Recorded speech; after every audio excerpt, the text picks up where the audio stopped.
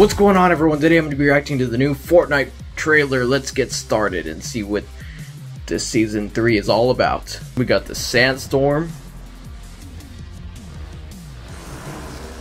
Alright. We got some evacuators. That guy's zoned out. Let's go, we got the shark back. And he's all rock this time. Alright, finally arrived on the island.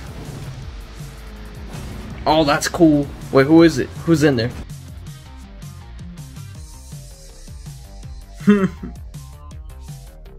that's cool.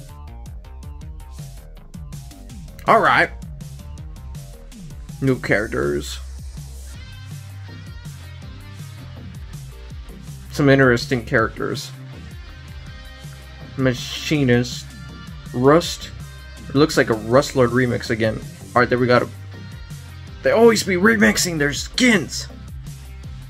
Nothing's original anymore. Alright.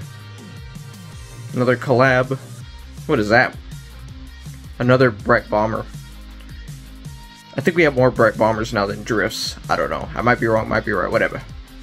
Magneto. That one's a cool one. Is that going to be tier 100? Probably. Alright, Brite Raider. That one's a cool one two good skins so far that I see.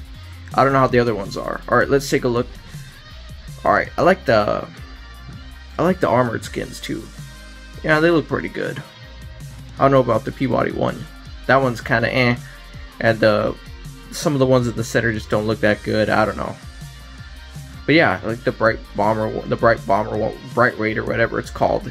And the, the, the more armored looking skins and the Magneto. Those ones are cool so far. So yeah, that's my little reaction. Thank you all for watching, and I'll see y'all in the next one.